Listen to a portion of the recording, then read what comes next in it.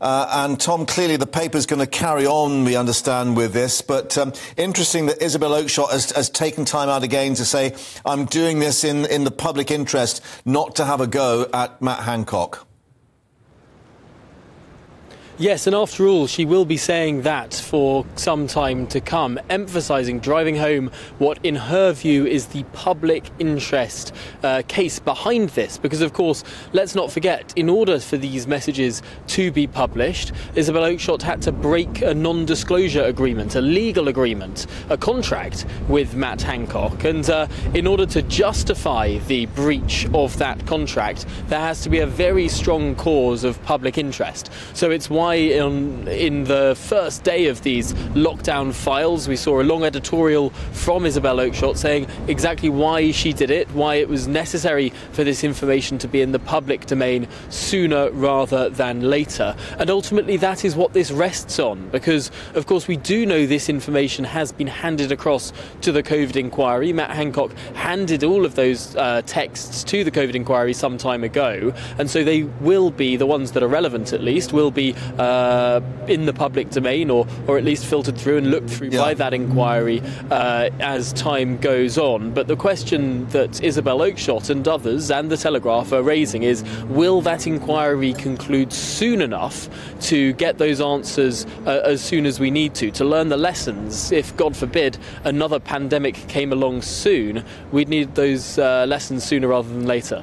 Yeah, and, and, of course the indications are that it was pretty chaotic behind the scenes in terms of the government trying to address this. But um, we should reflect that the Hancock camp have come out quite aggressively, uh, indicating that they think this is a bias account because of her own anti-lockdown agenda.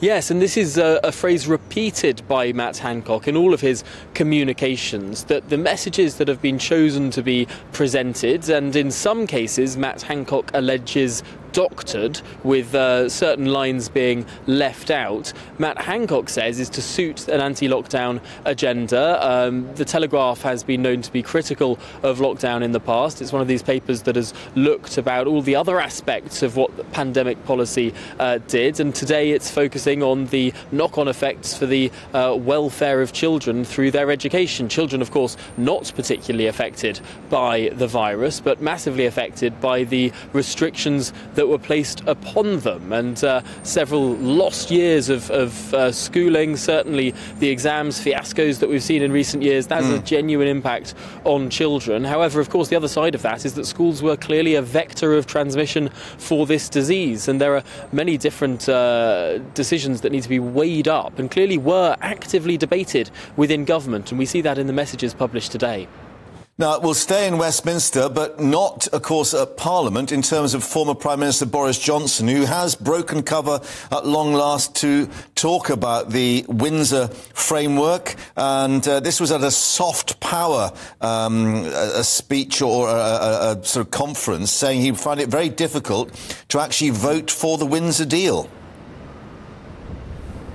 Yes, Boris Johnson speaking at the Global Soft Power Summit today uh, is breaking cover. We haven't heard from him for quite a long time. And in a very wide ranging speech, he spoke about everything from corporation tax to Roald Dahl. Uh, he also uh, gave his views on this Windsor framework agreed by the government uh, between Rishi Sunak and EU Commission President Ursula von der Leyen back on Monday. Uh, well, Boris Johnson isn't a massive fan of the agreement. He's saying that it could, in certain ways, act as a, a drag on UK regulatory divergence from the European Union.